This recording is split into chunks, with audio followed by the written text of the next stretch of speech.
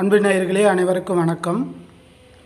நாம் இன்று பார்க்கக்கூடிய பதிவு டிஎன்பிசி தேர்வில் தோல்வியடைந்தவர்கள் அடுத்த மூமெண்ட்டாக என்ன செய்யலாம்? இதை பற்றி தான் நம்ம பார்க்க போகிறோம் நண்பர்களே உங்களுக்கு நாங்கள் ஆறுதல் சொன்னால் கூட உங்களுக்கு வந்து கண்டிப்பாக ஏற்றுக்கொள்ள முடியாது.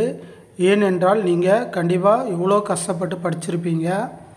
கண்டிப்பாக இது ஒரு உங்களுக்கு ஒரு கனவாக இருந்திருக்கும். குரூப் டூவில் வந்து பாஸ் பண்ணுறது பட் நீங்கள் ஏதோ ஒரு சிறிய மிஸ்டேக்கால் வந்து நீங்கள் அந்த குரூப் டூ தேர்வில் வந்து தோல்வி அடைந்திருப்பீர்கள். அந்த தோல்வியை நினைத்து கொண்டு இருந்தால் எதுவும் வந்து எந்த ஒர்க்கும் நடக்காது. நீங்கள் உடனடியாக அடுத்து வரக்கூடிய டிஎன்பிசி குரூப் டூ மற்றும் குரூப் ஃபோர் எக்ஸாமு நீங்கள் படிக்க ஆரம்பிச்சிடலாம்.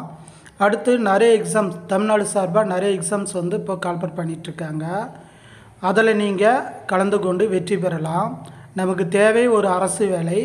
அந்த வேலை எந்த ஜாப் இருந்தாலும் நீங்கள் கண்டிப்பாக நீங்கள் ஜாயின் பண்ணிக்கலாம். நண்பர்களே தன்னம்பிக்கை விடக்கூடாது. கண்டிப்பாக அந்த டிஎன்பிசி குரூப் டூ தேர்வில் தோல்வி என்பது தற்காலிக ஒரு தோல்வி தான் எவ்வளோ எக்ஸாம் வரப்போகுது? இதே குரூப் டூ மற்றும் குரூப் ஃபோர் எக்ஸாம்லாம் வரப்போகுது.